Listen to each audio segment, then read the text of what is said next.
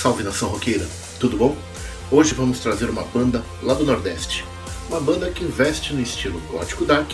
E para você que curte o estilo de The Cure, Sister of Mercy, Echo and the Bunnyman, tenho certeza que vai gostar desse trio. Roda a vinheta!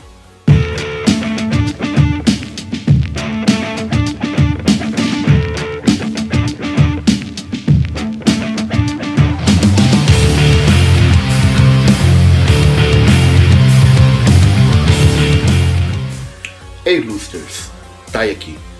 E aí, estão gostando de conhecer as bandas que a gente está apresentando aqui no canal? Legal, né? Eu, por exemplo, sempre curto explorar a internet para conhecer bandas e músicas independentes. Portanto, se inscreve aqui no canal, não perde seu tempo. Toda semana, bandas novas para você. Bom pessoal, Jardim do Silêncio é um projeto antigo do Luciano Santillo inoculado desde 1999, que somente ganhou vida a partir do ano de 2006, quando se uniu o talentoso tecladista Leonardo Silva. A proposta da banda é unir poesias centenárias de grandes escritores simbolistas, parnasianos e românticos, com escritas autorais, mesclando o instrumental, synth, electro, goth, sem perder a veia, post, punk dark wave, criando assim um som mórbido, denso, sombrio e ao mesmo tempo dançante, na mais perfeita tradição Dancing Tears, traço marcante das músicas góticas.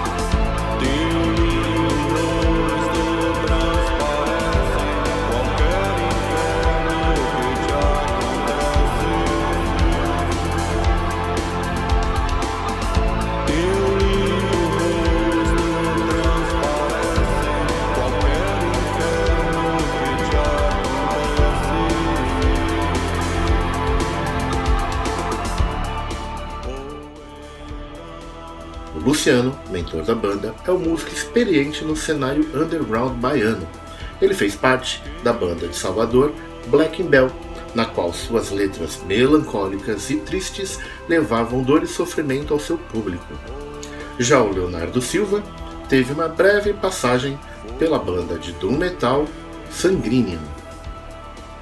Após pouco tempo de preparação, a banda fez sua primeira apresentação no Festival Nordeste Gothic Reunion, realizado em março de 2007, e chamaram atenção e conquistaram admiradores logo na estreia, recebendo inclusive vários convites para tocar em outros eventos.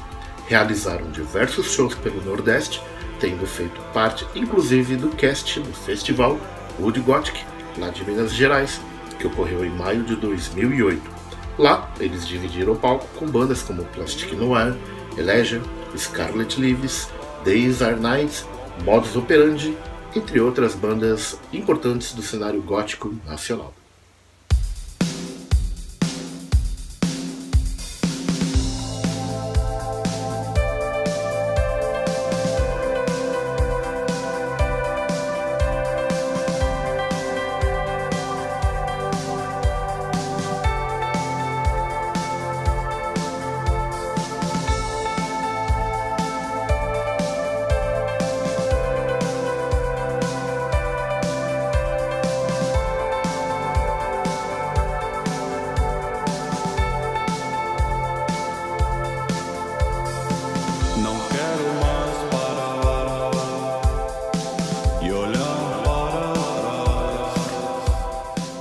Contando com um novo integrante chamado Ranieri Santana, produtor, DJ e ex-baterista vocalista da banda Eternal Nightfall, assumiu a incumbência das programações de baixo e bateria, samplers e backing vocal, passando a trabalhar junto com os sintetizadores de Leonardo Silva e da guitarra e da poesia de Luciano Santil.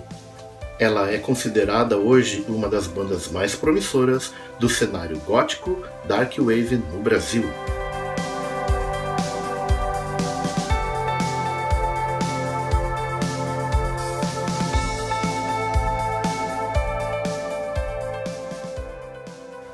Jardim do Silêncio é sangue, amor, honestidade e poesia em forma de música. Os integrantes da banda, Luciano Santil, poesia e cordas. O Ranieri Santana nos samplers e na programação. E o Leonardo Silva nos sintetizadores e programações. Lá em 2015, a banda Jardim do Silêncio lançou na web o seu EP com três músicas inéditas, chamado Carmim.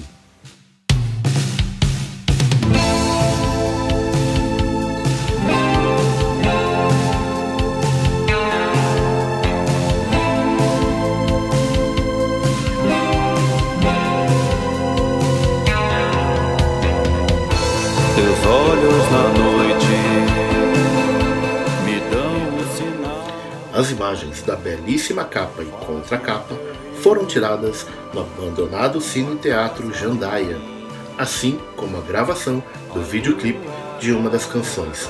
Aliás, o disco todo é dedicado a esse lugar, que é até mesmo difícil de acreditar que um dia já fez parte lá da capital baiana. Também contando com o produtor, Carmen traz uma sonoridade acima da média e remete ao som de bandas como Sister of Mercy, Bauhaus, The Cure e Depeche Mode em seus primeiros trabalhos. As flores teu corpo, desejo carnal, amores o fogo, vermelho carmim. E o CD encerra com O Sétimo Dia, que é um pouco mais agitada que as demais, porém mais carregada na temática do EP, onde se pode escutar nas letras versos como, abre aspas, imerso na noite fria, passo minhas horas sem sono, cercado em companhia das sombras de um outono eterno. Fecha aspas. Bom pessoal, Carmim não é um EP ensolarado e nem de longe se dispõe a isso. A noite, as sombras e a melancolia permeiam os 11 minutos da obra. Para quem gosta desta linha de som, é um bom aperitivo. Para quem ainda não conhece, é uma boa oportunidade para apreciar essa vertente do cenário rocker baiano. Bom pessoal, curtiram nossos vídeos? Sigam a banda, vamos dar apoio e força para os nossos músicos. E acompanhem o canal Perdidos do Rock. Toda semana, vídeos com bandas para você compartilhar, ouvir, curtir e se apaixonar. Bom, eu vou ficar por aqui. Deixo um forte abraço a todos e até o próximo programa com mais uma banda do Perdidos do Rock.